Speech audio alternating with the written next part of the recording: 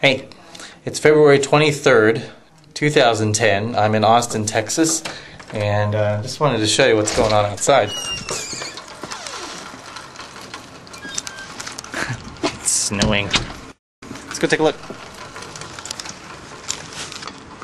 So I wanted to just kind of pan around here, show you guys what's going on. There's a Catholic church behind me, and it's got uh, snow all over its rooftop.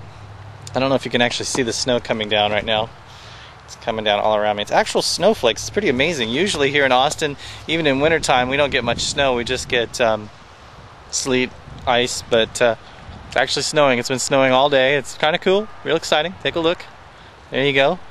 So there you go, Austin, Texas, February 23rd, 2010, and it's snowing. So uh, if you're out in the cold, you need to warm up head over to Starbucks Coffee, get yourself some coffee to warm up. That's what I'm going to go do right now. So have a great day.